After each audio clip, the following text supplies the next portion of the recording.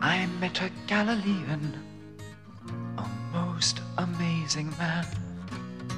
He had that look you very rarely find, the haunting, haunted kind.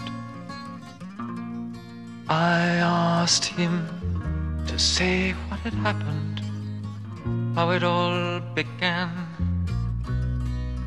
I asked again, he never said a word, as if he hadn't heard. And next, the room was full of wild and angry men. They seemed to hate this man. They fell on him and then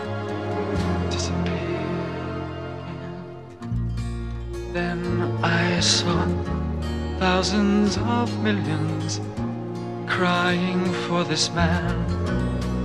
And then I heard them mentioning my name.